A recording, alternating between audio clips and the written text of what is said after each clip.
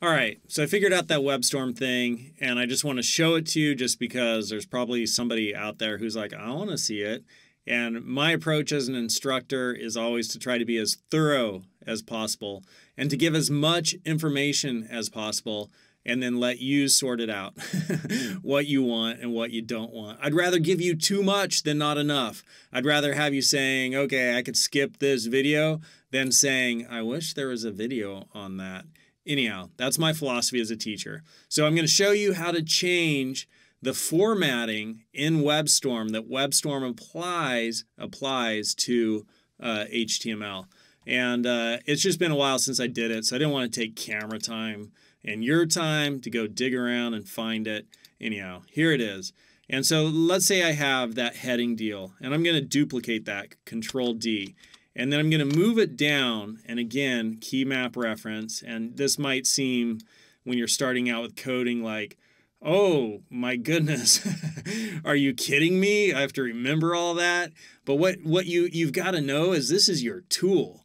These are your tools. And when you get good with an editor, that's why people don't want to switch from Sublime. They've figured out all these shortcuts and they're like, I don't want to have to learn all that stuff again.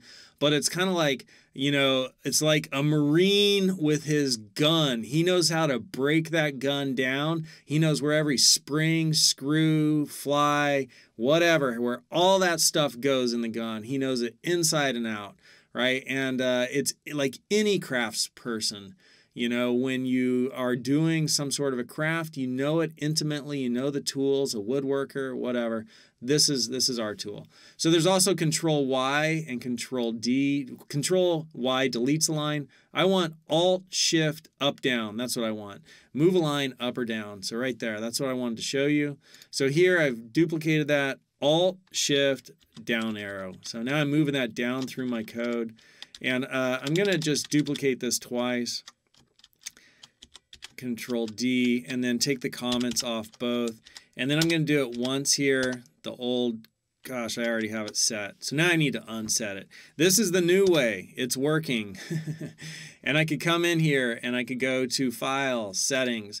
And the first thing I kind of searched for, I just went up here and Format. That didn't give me what I was looking for. So I went to, oh, probably HTML is a better thing to search for. And then I came down to HTML and code style looked promising, HTML code style. And when I first came here, it was tabs and indents, and then I went to other.